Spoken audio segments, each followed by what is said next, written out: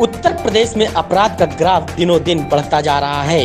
ताज़ा मामला रायबरेली ज़िले से सामने आ रहा है, जहाँ एक वृद्धा की सोते समय अज्ञात लोगों द्वारा हत्या कर दी गई। जब परिजनों से सुबह देखा तो उनके होश उड़ गए। वृद्ध का शव खून से लथपथ पाया गया। फ़िलहाल मौके पर पहुँची पुलिस ने शव को कब्जे में लेकर जाँच पड़ताल शुरू कर दी है। जानकारी के अनुसार, रायबरेली ज़िले के हरचंदपुर थाना क्षेत्र के मालिकपुर बरनवा गाँव के रहने वाले मृतक पराग पासवान गाँव के पास ही अपने मकान में रहते थे। बताया जा रहा है कि आज सुबह उनका शव चारपाई पर खून से लथपथ पाया गया है। शव को देख हत्या की आशंका जताई जा रही है।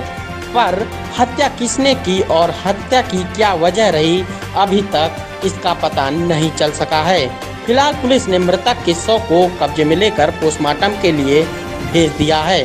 और जाँच पड़ताल शुरू कर दी है। ही हमको ये सब नहीं पता लेकिन रात में यहाँ सात आठ बजे तक हमें पापा यहाँ रहे हैं। वही के बाद घर गए।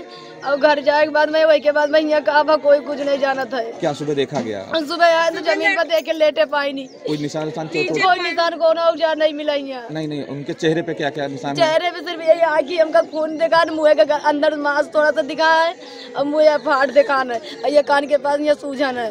तो क्या लगता है आपको? को मारा है तीन चार आदमी रहे भाई अकेले को मार नहीं सका तो मैं पप्पा कहीं क्या नाम है आपका? चंद्रोती।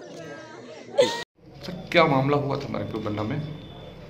गाँव मलिकपुर बरना जो हरचंदपुर थाना क्षेत्र में स्थित है यहाँ से एक टेलीफोनिक सूचना इंस्पेक्टर हरचंदपुर को प्राप्त हुई थी कि यहाँ पर एक व्यक्ति जिनकी उम्र इकहत्तर साल है, जिनका नाम पराग है वो मृत अवस्था में जहाँ पर वो सोते थे जो उनके स्थान, जो उनके घर से काफ़ी दूरी पर वहाँ पर मृत मिले हैं और उनके कान से खून आ रहा है और कुछ मुँह से भी खून आ रहा है। इस सूचना पर तत्काल इंस्पेक्टर हरचंदपुर मौके पर पहुँचे और वहाँ पर उन्होंने घटनास्थल का निरीक्षण किया फॉरेंसिक साइंस की टीम को भी मिलाया और उन्होंने भी वहाँ पर वैज्ञानिक साक्ष्य एकत्रित किए।